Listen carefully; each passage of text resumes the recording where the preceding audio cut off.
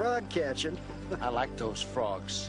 You shouldn't catch them, because if you do, the scarecrows might just end up catching you. What you doing? A scarecrow walks at midnight. Stanley, are you confused again? Heard what he said. The scarecrow walks at midnight. That makes no more sense than the time he said pigeons like their toenails polished. Cherry's my favorite. I don't like those stories. They make me scared.